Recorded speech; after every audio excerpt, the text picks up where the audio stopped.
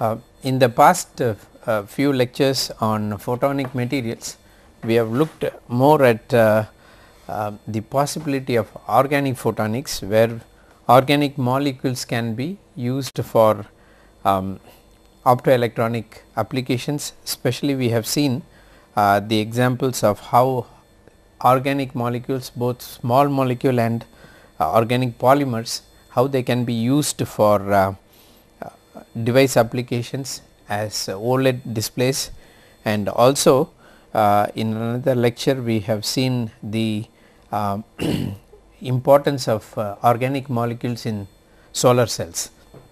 Today I am going to talk to you about uh, a group of inorganic compounds which is actually holding uh, a billion dollar industry for more than 20 years now and uh, they are generally categorized as uh, phosphor materials and uh, as you would see uh, in the cartoons uh, in this slide uh, there are variety of applications that you can engineer using this set of uh, molecules or inorganic compounds. They are usually oxides or sulfides. So, uh, in this lecture I will try to outline the importance of this uh, molecule, uh, molecules or oxides and then how this uh, is go governing uh, the principle of tuning colors in uh, uh, display devices. Let me start first with uh, what this phosphor history is all about and where it emerged from. Uh, it actually started as early as 1603. Uh, we have documents where an Italian scientist is alchemist actually. He found that uh, barite which is nothing but barium sulphate when it is heated with coal um, on heating he observed a bluish glow which is actually due to barium sulphide which formed. So, since then there has been several revisitation of this issue of glowing materials. 1866 first stable zinc sulphide phosphor was described and then calcium sulphide was discovered in 1870 and 1885-87 the concept of bioluminescence from fireflies was also observed. So, these are some of the milestones in this phosphor research and uh, in the last 20 30 years it has taken a very different uh, turn and we can look at it. Uh, before I define what these phosphor materials are and where we, we can see them operating, uh, just give you a basic definition of the different types of luminescent uh, phosphors that are possible.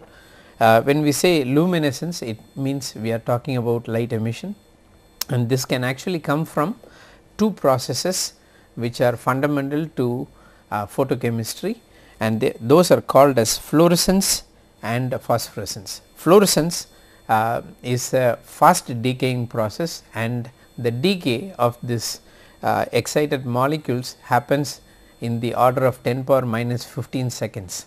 Therefore, there is no afterglow it just rapidly quenches.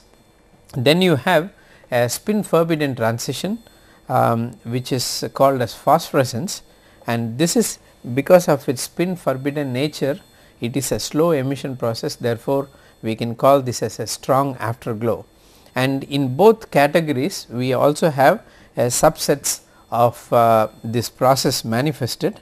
One is phosphorus phosphorescence which is excited by light, uh, cathodophosphorescence when it is excited by electrons, electrophosphorescence when it is excited by current.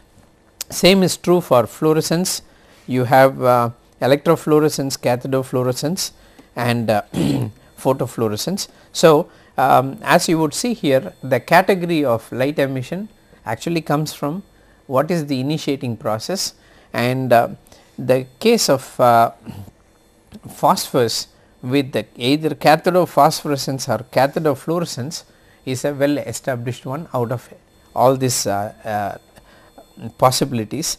And uh, this is basic to the uh, CRT tube applications which I will come in the next few slides.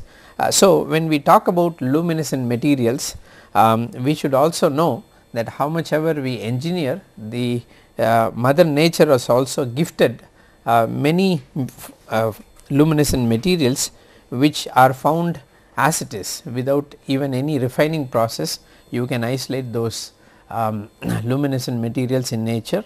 For example, calcite itself is uh, a blue light emitting one if you can uh, excite it with the long U, long wave UV. So, this is a calcite uh, crystal which is glowing under UV radiation and zircon is uh, here and that shows a dominating yellow and then you have uh, eucryptite which is mainly a, a europium doped uh, phosphor and then uh, willemite is there uh, then we also have a combination of several of these phosphors um, which is available in nature as it is as willemite, uh, calcite, franklin all these are uh, isolated as minerals. So, uh, as you would see here under UV uh, radiation uh, several lights with very strong fluorescence can be obtained, uh, but this should also respond to cathodoluminescence. Some of these materials may not be a active material for uh, the process uh, by which it is driven either by current or by cathode rays or by photo. So, depending on the nature of application these materials can find uh, use uh, in devices uh, and again this is the example of bioluminescence where the firefly actually is glowing. Uh, this is the firefly without illuminating um, the light, but when it is actually luminescing it glows like this. And the basic compound that is uh, responsible for this chemiluminescence or bioluminescence is this compound luciferin uh, which emits in dark. And uh, the basic uh, functional groups here are thiazole groups which becomes very important and uh, uh, to isolate this compound it is a billion dollar work. in fact, if you see in commercial catalogs you would see one um, microgram sold for 100 dollars. So, to isolate these compounds are very expensive therefore, although it is very highly luminescing with very good quantum efficiency these molecules have not been uh, used per se. But apart from the naturally occurring luminescent materials we also have man made materials. And uh, you can see all these signboards and uh, um, different uh, um, ceramic components glowing in the dark mainly because of a variety of um, compounds that you can prepare. And in the UV light they uh, show uh, the same color. And in, in darkness you can see that they are glowing and uh, it is also possible for us to uh, generate white light emitting um, phosphors by combination of these colors. So, these are man made phosphors and uh, this can also find use uh, in device applications and here is another example of how glow in the dark phosphors can be seen. Now, uh, just to satisfy our curiosity I would like to list some of the uh, afterglow phosphors which uh, show phosphorescence um, during their emission. And some of the candidates are yttrium uh, oxide uh, doped with uh, sulfur. And as you would see this is nothing but Y2O3 one of the oxygen is replaced fully by sulfur. And then the um, dopants here are europium, magnesium or titanium which will actually generate the uh, excited states uh, that will be responsible for um, the phosphorescence here. And uh, one thing that I would like to draw your attention is to the visible uh, afterglow time in this phosphorus. You can see they, they can radiate light for over 15 hours um, and uh, that is the speciality of this uh, sort of phosphorus and um, if you can see uh, the other phosphorus they are all mostly alumina based Okay. So, it is mostly yttrium based oxides or it is alumina based oxides and uh, these oxides are usually termed as SAM uh, if it is strontium aluminum magnesium oxide or uh, BAM oxides. So, uh, depending on the constituents they have uh, they form a different story in terms of its uh, light output. As you would see calcium aluminate with europium is very selective for purplish blue, strontium aluminates for blue and bluish green and then strontium aluminate um, uh, the lower analog with europium is uh, specially meant for green fluorescence. And uh, as you would see here red and uh, yellow is mostly to do with yttrium based phosphorus. And uh, these uh, phosphor materials uh, are mainly used in phosphor lamps. Um, and today uh, the late the latest generation um, lights or bulbs are the CFL ones um, which has a very strong coating of this fluorescence and as you would see um, these oxides have a variety of applications and we will specifically look into phosphors which are used in TV uh, screen. Uh, so, what are these phosphors?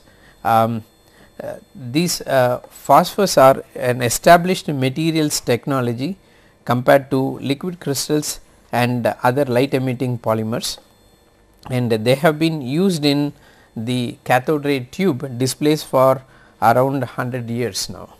Uh, these phosphors are also used in avionic tube applications and uh, avionic displays and nothing but all the screens that you see in a cockpit is all totally driven by the CRT tubes and those CRT tubes are usually 6 inch um, uh, display stuff. So, all these avionic applications are totally taken over by this uh, CRT phosphors. Now, new research have actually focused on field emission displays and on photoluminescent LCDs which are already coming into market and uh, the phosphors find a special role in that.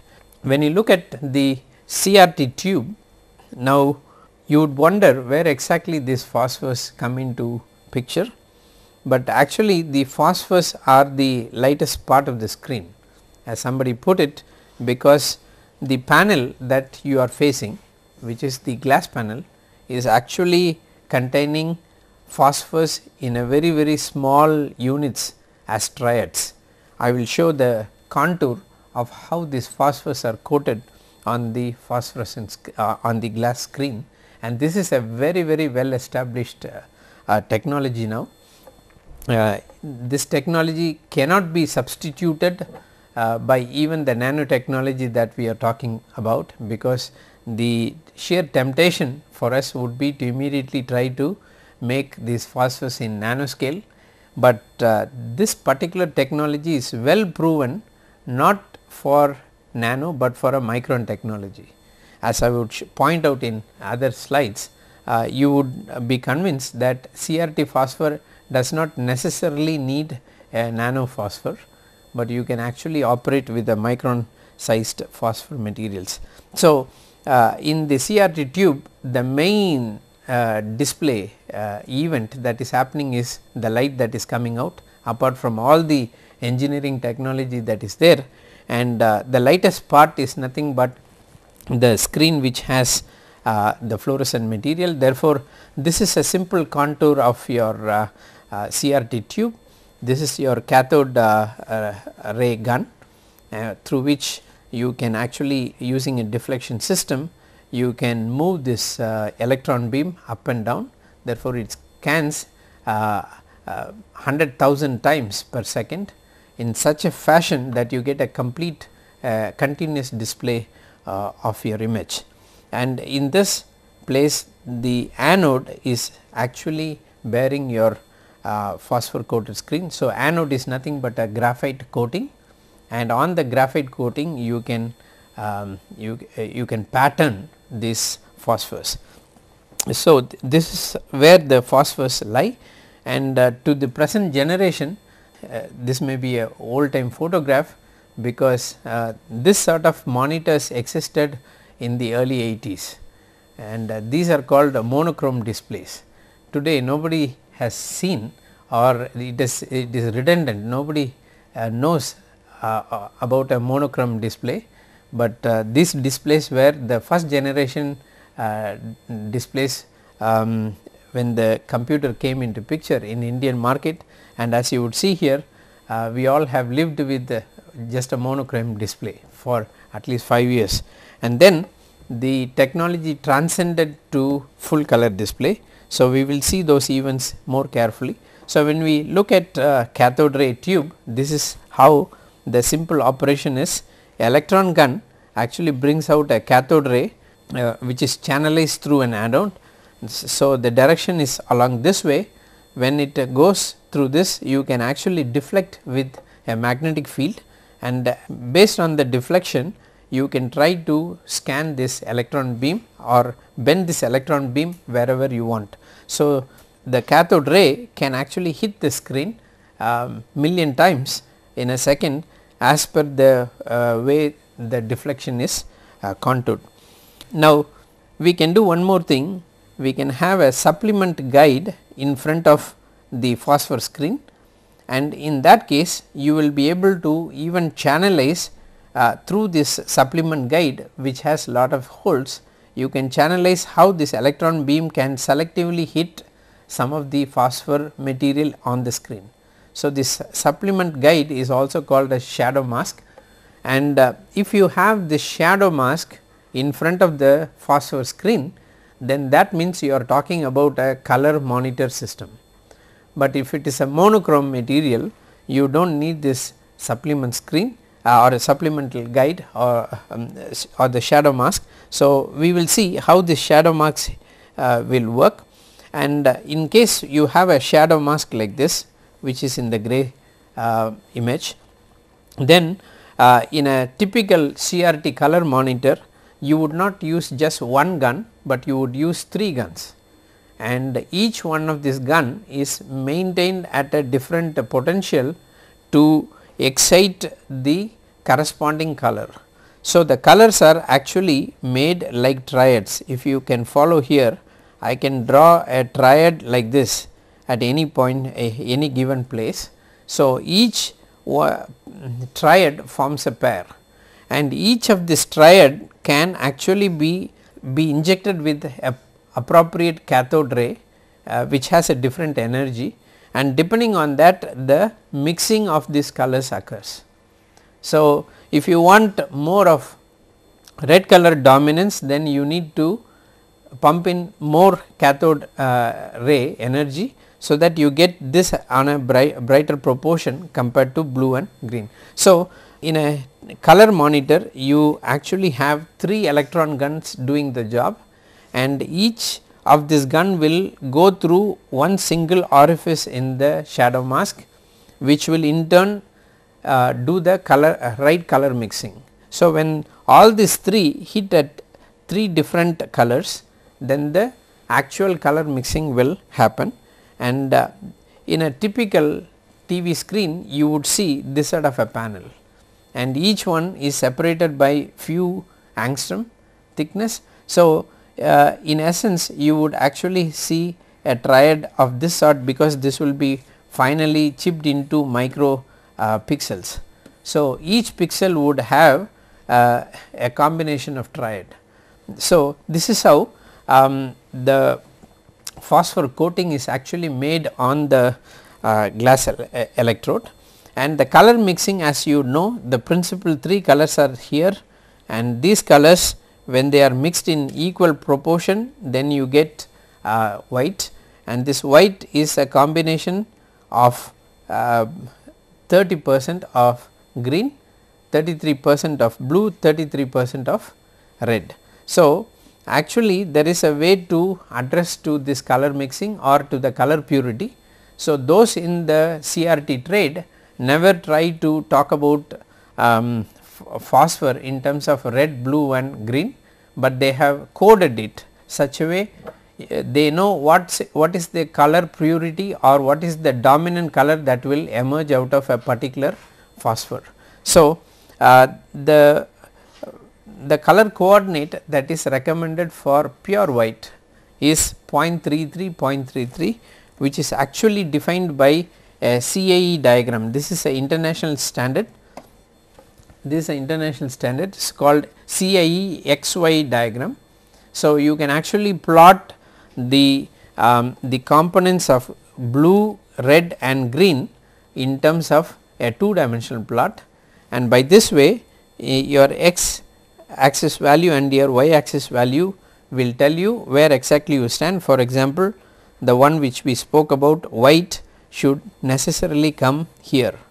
So, this is your white emission and uh, if if the um, coordinate is somewhere here then you talk more about a red dominant one if your co xy coordinate is somewhere here then you talk about green or bluish green and so on. So, this is a very useful um, parameter to evaluate what sort of a phosphor you make. So, whenever you make a phosphor and you see there is a potential then necessarily you need to talk about CIE coordinates. Then the color purity is actually defined. Typically uh, these oxides are colorless. Those which are used are colorless um, in ordinary light, but in the presence of UV radiation you would see that they are glowing and in cathodoluminescence actually this will become much more brighter therefore, it will give a dominant green, blue and red. And what are the phosphors that are used for cathode ray uh, tube application? Uh, to single out some example which are as of now used in uh, CRT applications. As I told you yttrium oxide uh, or yttrium oxysulfide with europium doping is supposed to be the most preferred one for red. In fact, um, yttrium oxide with europium also gives the same 625 nano nanometer emission, but a, a proportion of sulfur into oxygen is always recommended because it improves on the sharpness and it restricts the degradation. Therefore, uh, yttrium oxysulfide is preferred. And as you would see here the other group which is really uh, taken the show in CRT application is zinc sulphide. The base material or the host is the same zinc sulphide, but if you actually dope it with choice quantity of copper and aluminum these are actually doped less than 5 percent. And if you make the right proportion then you get green for copper, but if you dope it with um, silver then you get a clear blue uh, emission. So, uh, in the whole uh, issue of CRT phosphorus as you would see in the further slides numbers a number of uh, examples are given many compounds have been traded uh, commercially and uh, the most important phosphor of all is the zinc sulphate based one because zinc sulphide phosphor is actually able to take care of both blue as well as green uh, emission. The red is always unique to yttrium oxysulfide. Um, so, uh, for improved contrast we have pigmented variations that are available I will come to this in uh, one of the slides and then particle size and color coordinate variations are available to meet individual customer specification. As I told you in one of the earlier sli slide I talked about the strands of red, green and blue phosphorus which are actually coated on the front panel.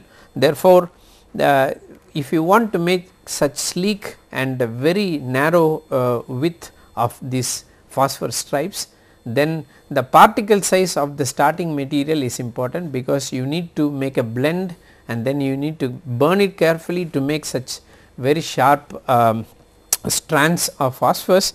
Therefore, particle size becomes a very unique issue uh, and uh, it is preferred by different uh, customers uh, who have different technology to dope this um, uh, phosphorus on the glass slide. Um, as uh, as you see in this slide again the whole thing is given and one of the unique stuff that we see in this CRT um, phosphors is that they are coded with specific numbers. Okay. So, uh, depending on the numbers it is possible for us to categorize what sort of compound is used uh, for that particular application. As you would see here in all this uh, blue emitting phosphors it is uh, silver, but along with silver you also see a chlorine uh, chloride ion that is doped which is actually considered to be a coactivator. So, if you want a very strong fluorescence not only you dope with silver which is the actual dopant and the actual activator you also use chloride as a coactivator which improves on the efficiency of these compounds.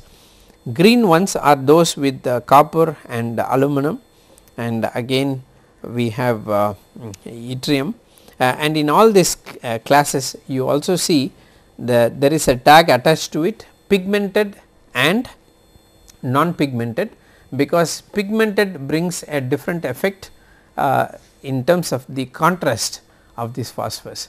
One thing is the bright glow that is luminescence, another thing is the contrast, contrast is actually inversely uh, related to um, luminescence. Therefore, we need to have a very sharp control on the contrast also. It is not just a stray uh, light that is coming out, but it has to be very sharp. Therefore, uh, when we talk about contrast the issue of pigmentation comes into picture. I will show uh, some examples on those lines. And uh, in this uh, view graph it may may not be very easy for you to read through all the numbers, but uh, I am just picking out this column for discussion in this slide. As you would see here these are all the candidates used over the years for cathode ray tubes and uh, for those who are engineering this CRT monitors they usually are very sensitive to the choice of the particle size of this uh, phosphorus. So, if we if if we are going to make using a chemical route or by some other route it is not just important to get the emission peak which is desired for example 525 you would anyway get when you dope manganese in zinc silicate, but you need to achieve the right micron size and it has to be a narrow distribution.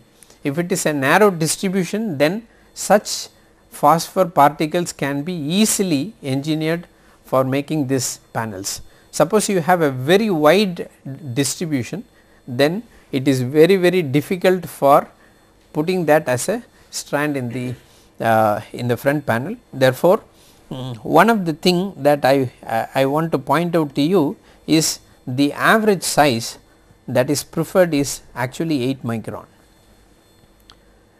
Uh, because we are living in a nano world uh, there is always a temptation for us to talk about nanometer, but one should also realize that the micron technology is proven and it cannot be shaken that easily. Therefore, when you talk about CRT we are not the issue is not about nano size, but the issue is about a very narrow distribution and what is good for processing is a average micron uh, range of 8 micron. So, if you have a 8 micron particle you do not have to really feel bad, but you can only be, ha be happy because that is what exactly is preferred for uh, uh, developing different panel. And you also see here on the left slide I just want to pick out on um, a few things. For example, um, phosphor uh, which is highlighted in uh, white. These are the candidates for getting white light phosphors. And what are these candidates those are a mixture of zinc sulphide doped with silver and zinc cadmium sulphide doped with copper. Such combinations actually give you white light phosphorus. So, you can go for that because if you are looking for applications in liquid crystal displays as a backlight emission then you would rather prefer a white light rather than uh, red, red green or uh, blue and uh, therefore, there are other combinations for example, if you take yttrium oxysulphide which is doped with terbium uh, from 2 to 5 percent then you would end up with white light which has a dominant emission at 545. So, by varying the dopant concentration it is possible for us to engineer a variety of uh, uh, phosphors and as you would see here the range is mainly between zinc sulphide or yttrium based oxides or aluminates. In, in this case for example, this is uh, yttrium aluminum garnet uh, doped with terbium then you should be able to get a 544 nanometer green emission and um, we can also gamble with uh, several other substitutions um, uh, in case of zinc sulphide based compounds. Uh, there is one compound which is uh, quite peculiar in this table that is gadolinium oxysulphide doped with terbium again shows a 545 nanometer emission. And just want to make a correlation between this and this. In this case uh, this is a YAG compound that is yttrium aluminum garnet. Whereas in this case this is only simply a gadolinium oxide, but both are giving same emission at 545 nanometer and the peculiarity is because of the dopant which is the same uh, that is terbium 3 plus. So, as you would see it is not the host that would uh, control the light emission, but the dopant because of the particular excitations in the D to F transition or F to D transition which will determine whether um, this is unique of the dopant or not. And as you would see from the red emission it is always europium which gives you emission at 620 nanometers. So, uh, this is the range of compounds that we have. Now, the applications for these materials include CRTs which is uh, the major player in the displays and then uh, in the last 10 years several uh, groups have come or several applications have emerged. One is FED that is field emission displays which are known for um, the contrast that it can bring in the image resolution or plasma display panels which has revolutionized uh, today's modern living room um, because you do not need a space it can be wall mounted therefore, plasma display panels are really replacing the conventional CRT tubes, but for a higher cost. Uh, the processing of plasma display panel is 3 times more costlier than a cathode ray tube, but for uh, from the aesthetic point of view and for making a large panel display uh, still uh, plasma display panels are counted to be one of the modern technologies. And then of course, these same phosphors can be used in vacuum fluorescent displays, fluorescent lamps, then X-ray screens and uh, storage plates for medical images and radiography and uh, off late it is also used as uh, uh, in several documentation events. I will show one or two examples on that.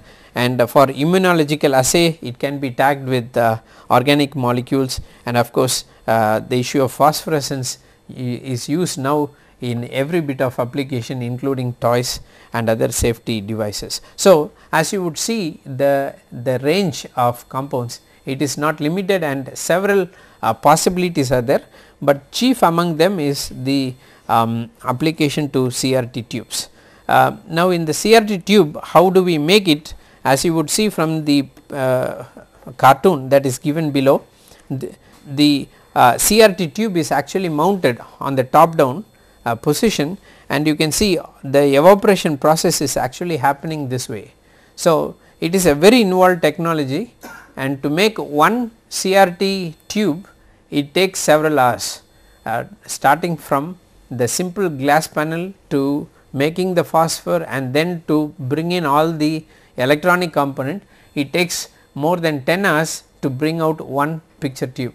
So, it is a very involved issue and as you would see here the way you try to bring about this triad coating is the speciality of the CRT tube. So, if you if you can make the right choice and you if you can make the right approach to coat this material then the color purity and the clarity of the pictures will be uh, extremely impressive as far as the CRT tube is concerned and uh, coatings can also be made using this sort of vacuum technology setup and therefore, this also brings in another issue that you cannot go for a very large area.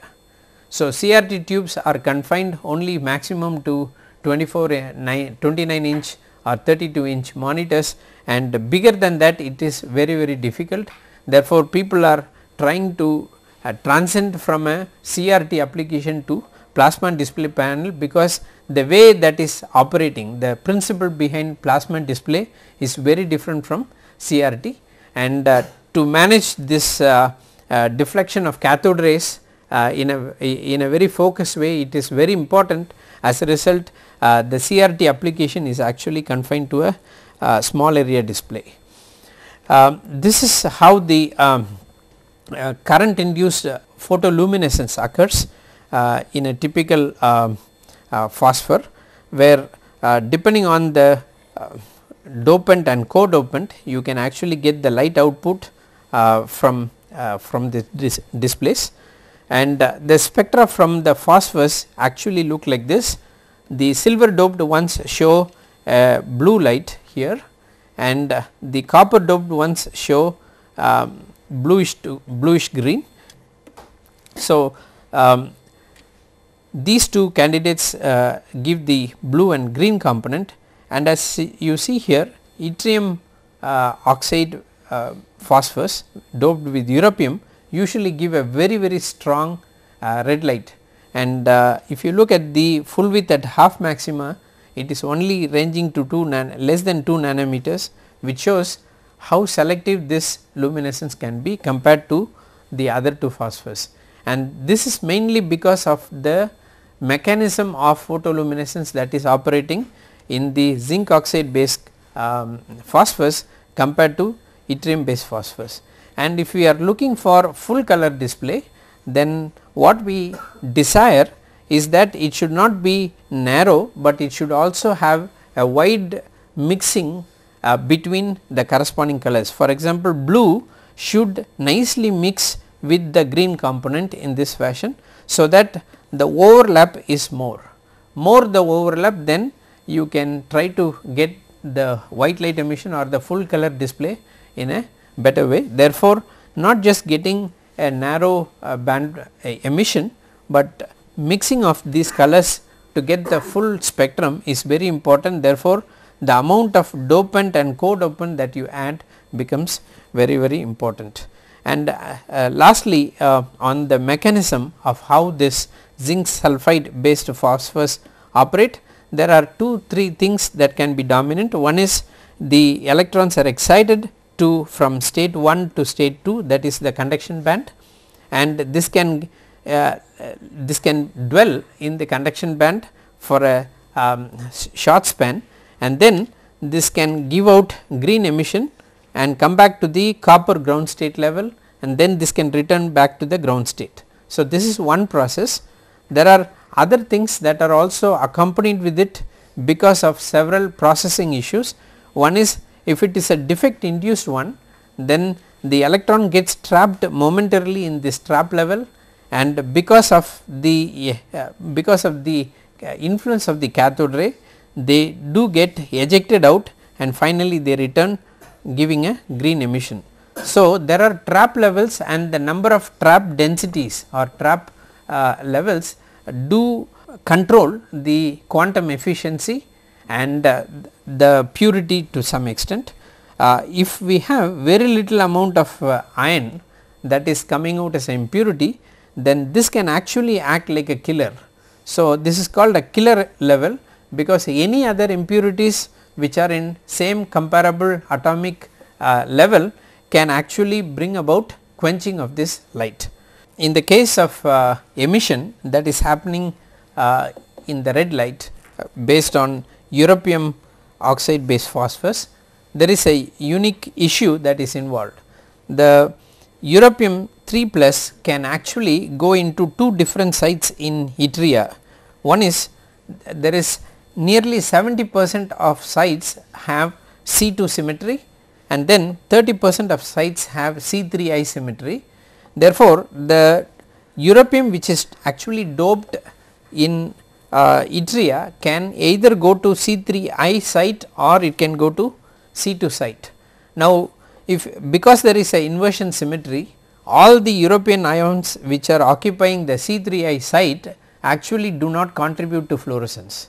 So, only if they occupy the C2 sites then they are more productive in terms of emission and therefore, this has to be carefully monitored that the occupancy of the europium site is dominated by a C2 based occupancy. And in fact it is possible even to reconvert the C3 occupied sites to C2 and the conversion that is possible is up to 85 percent um, to C2 symmetry. And those C2 uh, occupied europium sites actually are responsible for uh, the red emission. This same phosphorus can also be used for plasma display panels. And as you would see the display uh, mechanism is quite different compared to the CRT applications. And in this case what you see is a plasma discharge. And this uh, plasma, uh, plasma discharge is actually brought about by the UV light and once UV light is generated in the back panel that UV light will shine on the respective ones red, green and blue and as a result you will get uh, a plasma which is generated that will account for the emission of uh, full color display. So, uh, even in this case the way the uh, red, green and blue are mapped is of this fashion as a sub, uh, sub pixel and uh, this will constitute one plasma cell. Therefore, the, uh, the plasma that is generated will have to have a different mixing coefficient between each of this uh, uh, panel and as a result you will get the proper color output. So, in plas uh, plasma display panel the main mechanism is not the cathode ray tube or the cathode rays it is the UV uh, light emission which will bring about the uh, color display. So, he, here again you have choice materials which are used for plasma display and uh, we have a set of such uh, phosphors which have been proven and as you know that uh, continuous exposure to UV can also result in degradation of this phosphors or the phosphors can get uh, choked and as a result a nice display of this sort can become as um, disfigured like this. So, a distorted display like this clearly shows that the phosphors are getting degraded in the plasma display panel. So, this is one of the main problem that you encounter in uh, practical application uh, compared to CRT tube you have a problem of uh, the phosphor degradation because of a continuous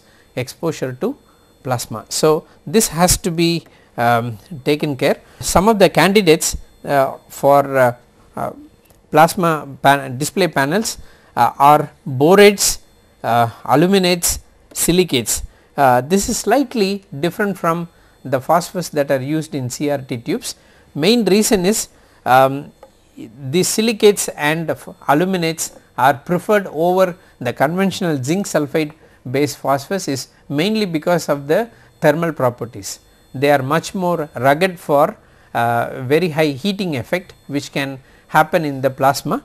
Therefore, to withstand the internal heating effects we actually use high temperature uh, ceramics which also have same uh, color efficiency. Therefore, uh, most of these oxides if you see they are all um, uh, insulating or uh, these are uh, uh, high temperature materials. Um, so, this is very unique for PDP applications and when we come to fluorescent lamps you again see that the major contributor is cerium doping because cerium doped phosphorus they respond immediately to mercury plasma that is generated in all the fluorescent tubes. So, it has to respond and cerium is very unique for uh, green emission you also have magnesium tungstate and uh, uh, then of course europium based yttria these are used for blue and red. The fluorescent color of a sign tube is a combination of emission from phosphor and the discharge that is taking place. So, if it is a mercury discharge then the emission will be mostly dominantly blue in color. Suppose it is a neon discharge alone emits red and adds red in combination with phosphorus for example, uh, green emission color is uh, is gold with neon. So, if you have a neon discharge then you can get a different um, emission for the same phosphor uh, compared to mercury discharge. Therefore, um, these are being worked out as combinations for uh, mixing. And now, when I talk about the contrast of a TV screen, we should understand the contrast is nothing but the luminescence contrast performance. Uh, this is uh, defined as a ratio of your luminescence versus diffuse reflectance. Diffuse reflectance is actually coming from the stray radiation. To improve the contrast of a TV screen, not only the phosphor brightness is important, just because it glows bright does not make it a good candidate and because we need to combat with the uh, daylight reflectivity of the screen. So, uh, the contrast is actually a gamble between the brightness of the phosphor and the daylight uh, reflectivity and as a result it is generally um, agreed that uh, this has to be pigmented so that the daylight reflectivity can be controlled when the phosphors are glowing and in order to reduce the reflectivity of the white phosphor powders for example these are all candidates for white phosphor uh, each uh, phosphor particle is covered with a pigment. Uh, for example, uh, cobalt aluminate is a um, good pigment for blue emitting zinc sulphide which is doped with silver and aluminum. Similarly, you, you can use iron oxide it could be uh, alpha iron oxide powder which is actually used to control the uh, the reflectivity as far as the red emitting uh, yttria compounds are concerned. So, each of these phosphors have to be controlled in order to combat with the daylight reflectivity as a result we have uh, a new generation called pigmented phosphors which are used and this again depends on uh, the, the company which is making and the requirements. So, uh, pigmented phosphors are a very important uh, issue and uh, here again the pigmentation as you see comes from several colored inorganic uh, oxides. Uh, for example, cobalt aluminate is mostly a peacock uh, greenish blue um, combination, iron oxide is predominantly a yellow brown stuff which is added to control the uh, reflectivity. The pigment particles have to be quite small in size because they should not be of a comparable size with the uh, stuff otherwise the adhesion between the actual phosphor and the uh, pigment will not be uh, will become equal as a result um, the narrow range that is preferred for pigmented for uh, particles is of the order of 80 to 120 nanometer. In addition uh, to other ingredients like inorganic oxides you also have organic polymers which can uh, with a good adhesion which can actually coat this uh, um, phosphorus for getting more contrast. Another uh, example of this phosphorus are up conversion phosphorus. As we know when we try to use a UV light then you will get a emission of a higher wavelength in other words lesser energy. This is actually the uh, Stokes law or Stokes lines which we, uh, which we have uh, learnt uh, from the uh, spectroscopy, but up conversion phosphors are actually anti-Stokes phosphors because they take energy in the lower uh, lower nanometer range, but they actually uh, emit a higher energy uh, emission and th therefore, these up conversion phosphors are also called as anti-Stokes phosphors. These up conversion phosphors are actually used as a anti counterfeit phosphor and it is a luminescent material that converts different invisible infrared, uh, infrared light into visible light. The best example is uh, when we try to go through a security zone usually our uh, identity cards are uh, scanned through some uh, light and those are usually infrared lights because that is safer and as you would see here um, in the normal light a tag like this a monogram might have two different lights.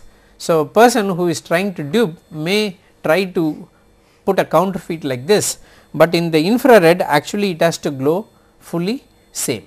So, these are special phosphors which will actually take low energy, but will emit in higher energy. So, this is nearly green which is actually emitting in blue and these are actually called as 2 photon process or uh, more than 2 photon process. So, what happens you have a activator which actually takes it to this level and there is another co-activator which will push it to this level therefore, the emission will actually be a 2 photon emission against 1 photon that you are giving. So, this is uh, called up conversion phosphors since stable anti Stokes phosphors are not generally available and are difficult to manufacture they are actually attractive candidates for uh, security applications. One or two examples of that yttrium fluoride and then sodium lanthanum tungstate these are very critical to prepare uh, people who want to dupe can't easily make it therefore, these are special chemicals which have a controlled emission and these are also called as anti-Stokes phosphors. In all normal fluorescence we know that this is uh, behaves like, uh, based on Stokes law however, in anti-Stokes phosphor uh, we have 2 or 3 photon absorption and they emit a single photon of visible light. This is uh, another example of how the uh, IR excited uh, phosphors behave. You can see here this is the yttrium ytterbium dopant which actually takes care of the emission from this state 2 f 7 by 2 state to 2 f 5 by 2 state but then you also have a co-doping in the form of erbium which will actually translate this further to higher energy levels.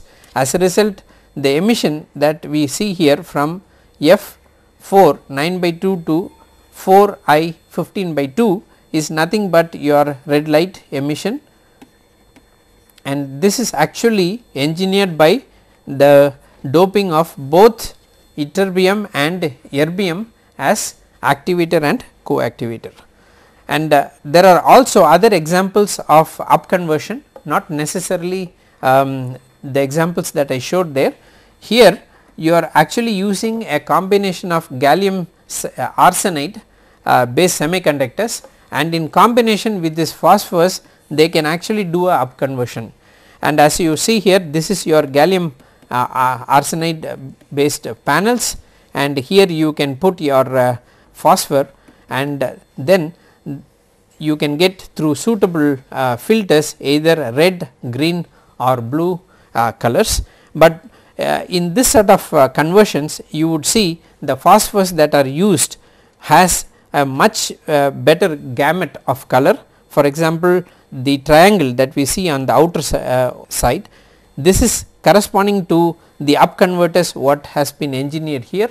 So, they have a much better gamut of colors compared to OLEDs which are highly pure, but at the same time they have a very limited color resource and then comes your NTSC uh, based uh, phosphors which are in the middle. So, um, so when you think of uh, several hybrid combinations uh, you you see this up conversion phosphors seem to have a larger scope than the conventional ones. We can also work out for up conversion phosphors using simple lanthanum oxide which is doped with erbium and ytterbium. You can see the color purity that you can get out of uh, such substitutions and uh, we can also look for uh, red emitting cerium based phosphors which are reported and uh, the color emission in each case will differ depending on this side symmetry. For example, in a cubic crystal field you will get for the same doping a blue color, but in a distort uh, in a distorted uh, cubic lattice you will expect a red light and uh, suppose you are going to add with the nitrogen replacing oxygen atoms then you can modify the color emission to green. So, such substitutions are also possible and lastly I would like to leave with one more thought that uh, LCD whenever we handle LCD laptop uh, computers which we normally use the color emission or the bright color that comes out is actually because of the phosphors and uh, you have a very sleek uh, fluorescent lamp like this and uh, this uh, pencil is kept there for comparison. So, it is as small as that and this can bring out the white light emission that is needed for LCD displays. So, apart from the liquid crystal uh, panel that you have the background emission is actually um, moderated by uh, by this uh, phosphors which are uh, coated in this uh, uh, tube fluorescent tube. So, um, the range of applications of these phosphors are not limited only to CRT, but to a variety of other display materials. And as you would see it is just a simple doping in a host matrix which brings about all these fascinations. So, here the chemistry becomes very important. Chemistry in terms of the choice of dopant and the chemistry of uh, upconversion comes into picture. Then the chemistry of controlling the size comes into picture. The chemistry of pigmentation to improve the contrast comes into picture therefore there is plenty of uh, chemistry principles that are involved in this technology which we need to bear in mind therefore a useful chemist, a chemist who understands all these uh, ideas uh, can successfully produce and engineer a variety of new phosphors uh, for future applications.